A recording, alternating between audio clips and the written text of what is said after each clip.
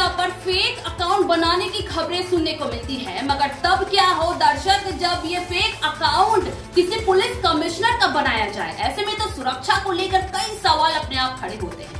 जी हाँ एक ऐसी ही घटना सामने आई है आसनसोल से, जो कि डिजिटल खबरी लाल आपके लिए एक्सक्लूसिव लेकर आया है। जी हाँ आसनसोल के पुलिस कमिश्नर सुनील चौधरी का अकाउंट, जी हाँ फेक अकाउंट बनाया गया है, जिसकी आप तस्वीरें देख सकते हैं स्क्रीन पर, किस तरह से उनके फ़ोटो को डाउनलोड किया गया और उनके हर इंफॉर्मेशन को इस अकाउंट पे दर्शाया गया है। और ऐसे में जनता आप सोच सकते हैं कि आम लोगों के लिए ये समझना बिल्कुल मुश्किल होगा कि दोनों के बीच फ़र्क क्या है। यानी कि सुनील चौधरी का असली अकाउंट कौन सा है और फेक अकाउंट कौन सा है? और ऐसे में जो कि वे खुद एक पुलिस कमिश्नर है तो बहुत सारी अहम जानकारियाँ, महत्वपूर्ण जानकारियाँ लोग जिन्होंने फेक अकाउंट बनाया है, वे यूज़ कर सकते हैं और ऐसे में सचमुच ये सुरक्षा को लेकर एक बड़ा सवाल है।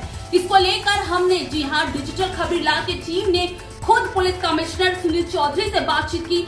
तो सुनील चौधरी से हमने बातचीत की और उन्होंने बताया कि किस तरह से फेक अकाउंट बनाया गया है और वे इसके खिलाफ कड़े से कड़े कदम जल्द उठाएँगे और साथ उन्होंने ये भी कहा कि आजकल ये जो है, इस तरह की खबरें जो है, ज़्यादातर सुनने को मिल रही है और इस पर रोक लगाना बेहद ज़रूरी है और वो जल्द ही इसके खिलाफ कड़े कदम उठाएँगे। फ़िलहाल इसी तरह से अपडेटेड खबरों के लिए देखते रहिए डिजिटल खबरी लाल, खबरें आपकी नज़र हमारी।